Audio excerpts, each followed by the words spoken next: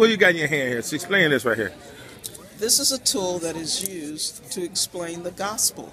How? What It's is the gospel? The gospel is the good news. This book can help explain the good news, all the facets of what Jesus has done for us. The gold page, yellow page represents heaven and God. The black page represents the darkness we live in because of sin. Red page represents the shed blood of Jesus on the cross, the sacrifice he made to pay for our sins.